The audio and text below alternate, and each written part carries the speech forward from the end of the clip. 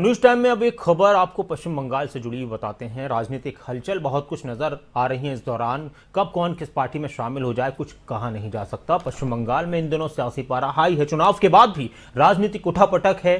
थमने का नाम नहीं ले रही। अब मुकुल रॉय की टीएमसी में वापसी के बाद चर्चाएँ तो ये भी हैं कि नेताओं का बीजेपी से टीएमसी में आने का सिलसिला आगे भी जारी रहेगा। और कुछ और बड़े नेताओं का, बीजेपी के बड़े नेताओं का नाम सामने आ रहा है कि वो फिर से टीएमसी में वापस जा सकते हैं।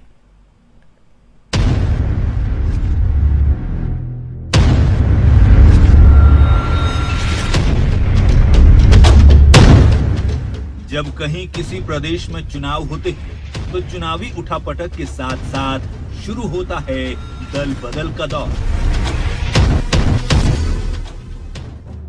नेता कभी टिकट की चाह में तो कभी जीत की आस में एक दल से दूसरे दल में आते और जाते हैं। लेकिन पश्चिम बंगाल में स्थिति कुछ अलग है। जी हाँ चुनाव हो चुके हैं, सरकार बन चुकी है, लेकिन दल बदल का सिलसिला अभी रुका नहीं है। बल्कि आने वाले दिनों में और प्रबल होता नज़र आ रहा है। जी हाँ मुकुल रॉय की टीएमसी में वापसी ने बीजेपी और पश्चिम बंगाल की सियासत में नई हलचल पैदा कर दी।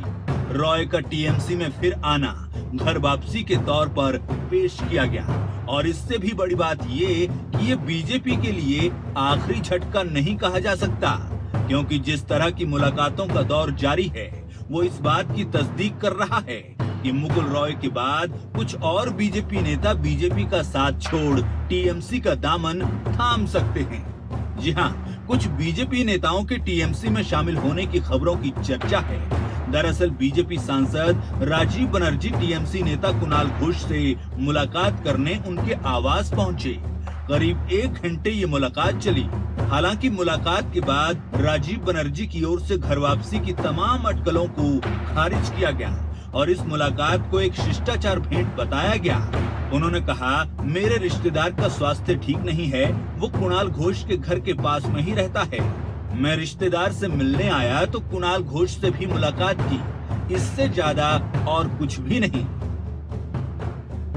लिहाजा विधानसभा चुनाव से पहले राजीव बनर्जी बीजेपी में आस्था दिखाते हुए टीएमसी को अलविदा कह गए थे।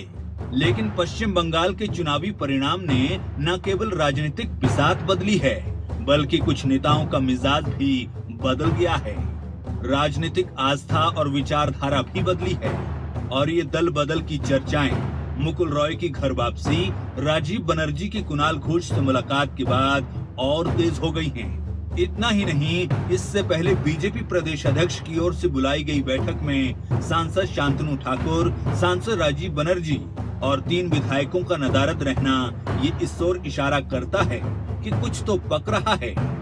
लेकिन देखना ये है कि कब ये खुलकर जनता के सामने आता है। क्या वाकई दीदी की जीत के बाद टीएमसी का कुनबा और बड़ा होने वाला है, या फिर बीजेपी की ओर से ठोस रणनीति अपना इस सिलसिले पर अंकुश लगाया जाता है, ये भी जानना दिलचस्प रहेगा। ज्योति सांगवान, खबरें तक।